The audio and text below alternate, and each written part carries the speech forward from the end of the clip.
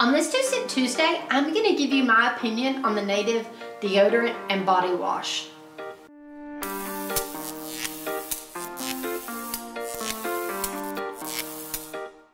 I have seen everybody everywhere talking about these products. It's all over, like a lot of YouTube influencers have been using it, a lot of stuff on Instagram and stuff, and you see this everywhere. And I think a lot of it is because it is like more of an all natural, it's sulfur free and animal and cruelty free. I wanted to try it out because everybody has been talking about it and see what all the hype was about. So I went and bought me some body wash and some deodorant and I tried these.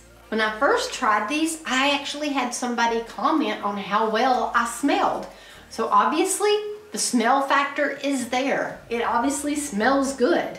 I got the coconut and vanilla and it does. It smells so good. And the first couple of weeks of using this, I was in love. I love this stuff. It smelled great, it felt great, and everything. And then I don't know what happened. Like in two weeks, every time I started sweating, it would make it feel slimy and it didn't feel good. And it didn't do that to start with, but over time it started doing that and I work out a lot, so slimy. And then I started noticing my clothes the days that I would put it on and it would be hot outside. My clothes looked wet, but they were not wet. So it was like staining the armpits of my clothes, which it came out when I washed them, but who wants to walk around looking like you got sweaty armpits and they're not? So my opinion of the deodorant, I do not like the deodorant anymore. I don't use it at all. It's going in the trash can. I don't want to use it. And this stuff's expensive. It's not cheap. It's $10 for the deodorant and I think the body wash is like 12 or $13. But it was like $10 for this little thing that I ended up not liking. Now, the body wash, I love the body wash. I will keep using the body wash.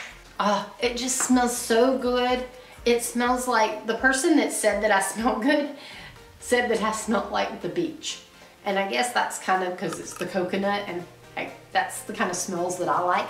But they have this, all this in so many different smells. Like it's like weird stuff, like lime and to me, might be, I guess, if you want to smell like limes, but they do make it in some weird, I feel like, smells. I almost called it flavors.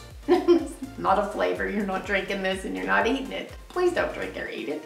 So I'm to keep using the body wash, but the deodorant is in the trash. Till next time, like and subscribe.